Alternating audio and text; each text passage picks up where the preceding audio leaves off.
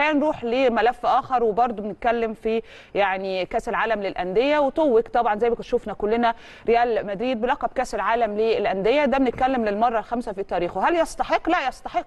ريال مدريد يستحق واحد من أفضل أندية العالم. طب هل الماتش كان حلو؟ الماتش كان حلو جدا. الهلال السعودي بصراحة عمل مباراة رائعة. زي ما يتقال عليها ولا أروع. نتيجة كانت كمان بتعبر عن الكلام ده. لما تيجي تقول score 5 3 يأكد لك إن اللعب كان فيه تنافسية شديدة جدا. ريال مدريد بدأ التسجيل تقريبا يا كريم في الدقيقة 13 وبعد كده ابتدى بقى رايح جاي اللعب والتنافسية. وتحس كده وانت بتتفرج امبارح ان كان في أمل كبير إن الهلال يكسب بالمناسبة. يعني الهلال وهو بيلعب امبارح انت كنت عندك أمل لأبعد الدقائق إن ممكن جدا الهلال يحصل حاجة ويفوز ويبقى أول العالم.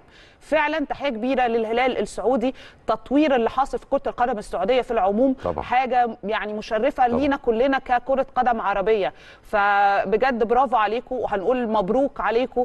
اللقب وبإذن الله يبقى في أفضل للي جاي. وبإذن الله إحنا كنادي أهلي نتعلم من الأخطاء ونصلح أخطائنا ونشوف إيه اللي ناقصنا ناقص اللي عندنا ونشتغل عليه. لأن إحنا هرجع أقول تاني حتى لو إحنا ما حققناش المرجو بس إحنا مش فكرة زعلانين منكم إحنا مش زعلانين من الفريق الأول إحنا زعلانين إن إحنا كنا نستحق أفضل من ذلك. بس دي نقطة مهمة إن إحنا نفرق بينها وبين برضو الأمر الآخر. دي النقطة دي تعتبر قاسم مشترك في أذهان كتير قوي من الأهلاوية وفي رؤيتهم للمشاركة الأخيرة للنادي الأهلي في كأس العالم للأندية.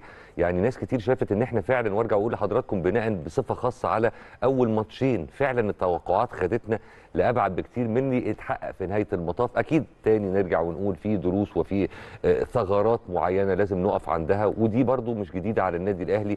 طول عمر النادي الأهلي منين لما يعني بيكون بيشارك في أي فعالية في أي بطولة على أي مستوى سواء محلي أو إقليمي أو إفريقي أو دولي حتى.